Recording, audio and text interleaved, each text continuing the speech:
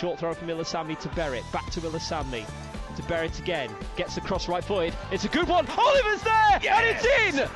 York City have got the lead. Russell Penn celebrates in front of the bench. Vadaine Oliver celebrates with the York City fans. They deserve that goal. A wicked cross in from James Berrett. Oliver gets the shot away six yards out. Nichols couldn't keep it out. It goes into the right corner.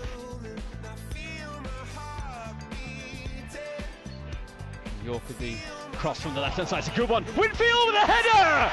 Goal for the Minster men!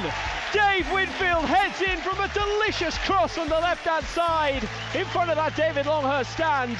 And York City have got the lead against Morecambe. It's the Minster men 1, Morecambe nil. It was a perfect cross, wasn't it? Round to Dave Winfield's head at that back post. He couldn't miss just two or three yards out. Goal break. And the touchline plays it infield for Russell Penn. Gets away with it. His man gets towards the edge of the box, lays it off for Berrett. Berrett maybe looking to get the shot and does! 2 0! 2 0! 2 0! James Berrett for the Minster men! They're in dreamland at Bootham Crescent! Will today be the day they end this long losing streak? The Minster men have doubled their advantage.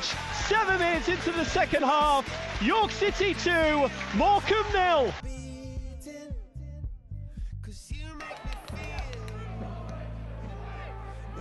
Launched forward for the run of Fuster.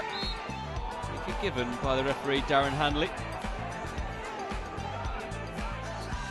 He's in position here to get the cross in.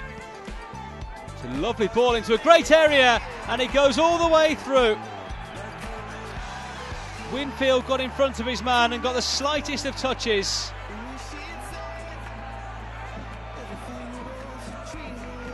Defender making a great run. Knocked it in off the outside of his boot. It's Mansfield Town nil, York City 1.